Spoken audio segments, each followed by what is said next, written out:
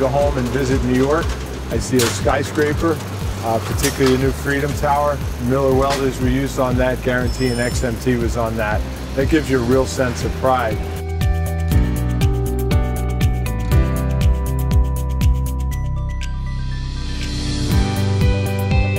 Here at Miller, we try to go out into the field not only to talk to customers, but watch them work.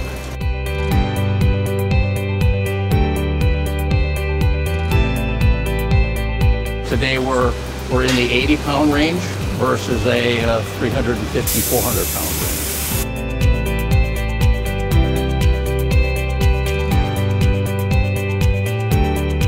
range. Starting from the outside, the, the case is made out of uh, anodized uh, air, aircraft quality aluminum. We use a feature called the wind tunnel uh, that protects um, uh, the components that we don't want to subject to that dust. And it's really paid off in the long term in terms of reliability and the longevity of the machines.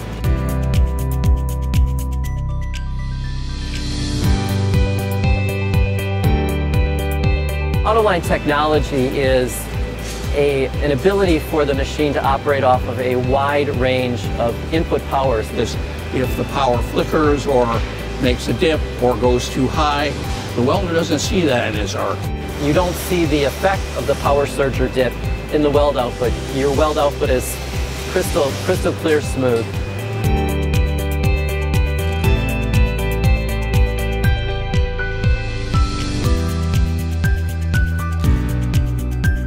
Simple user interfaces are one of the, the cornerstones of uh, Miller Electric's product offering.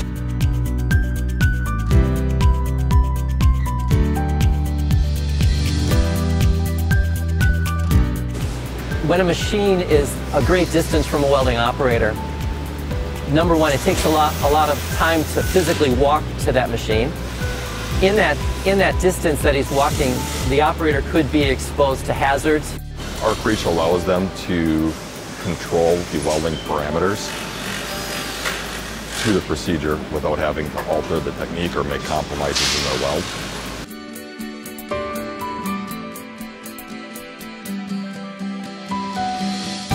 And if we didn't have the feedback that we did using Voice of the Customer, we wouldn't have the feedback to know where we need to improve.